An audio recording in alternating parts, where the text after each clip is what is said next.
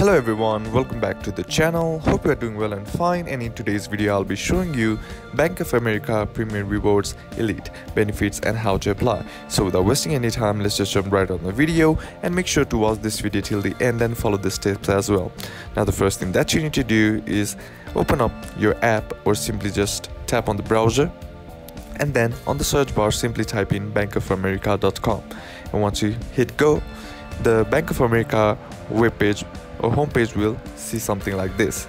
Now all you gotta do is log into your account. In order to log in, simply tap on login and then follow the process to log into your account.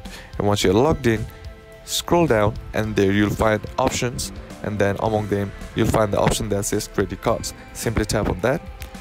Now once you tap on that, you'll be redirected to your cards options.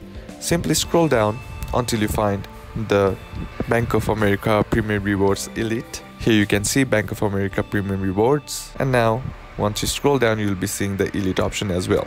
Now in order to apply it simply tap on apply now and here you'll be redirected to the application page. You can see the benefits like receiving 75,000 online bonus points that is equivalent to $750 at least in 500,000 in purchases into the first 90 days and now once you expand it here you can earn unlimited points 2 points for every dollar spent on travel and dining purchases and 1.5 points for every $1 spent on all of the purchases.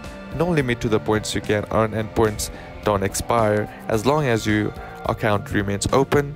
Bank of America Preferred Rewards members can earn 25% to 75% reward bonus on every purchases.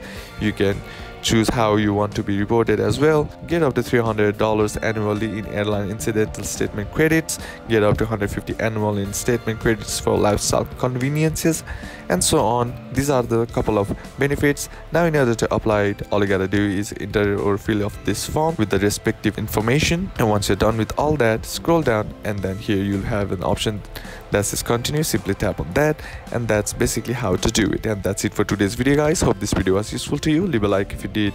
Comment down below what the next video should be on. Consider subbing to the channel. Thank you for watching. Bye bye.